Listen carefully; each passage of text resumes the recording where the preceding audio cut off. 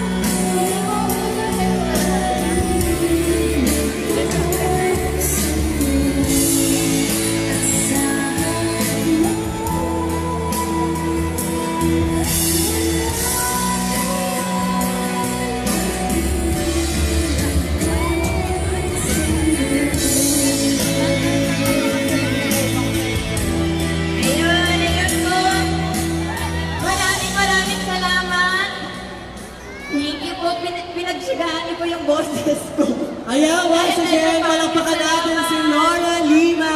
Thank you po, maraming salamat. Samahan muna tayo dito ni Laura. Yay, sige po. Pinila na siya ni Nico. Ayan, siya si... Ay, Eto. ito kasi Nico. Oo. Talaga yung totoong artista dito.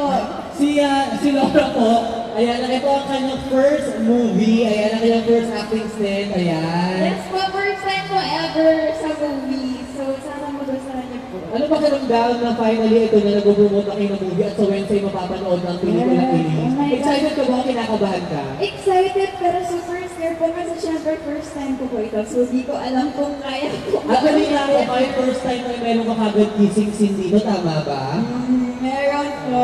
First time Meron. ko Si Enchong, yung partner ko doon. So, Ayan, character mo dito? Ako po si Rita, yung, uh, yung girlfriend ni Enchong. Ang dalagang Pilipino po siya. So, very studious, uh, pasipig mag-aral, masipag mag-aral, pero in love din siya kay Bert.